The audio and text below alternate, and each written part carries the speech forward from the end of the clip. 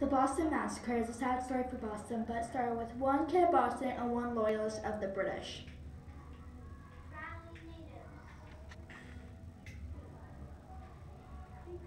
Hey, lobster man. What, kid? Take this. Oh, how dare you? Ow. That's what I thought.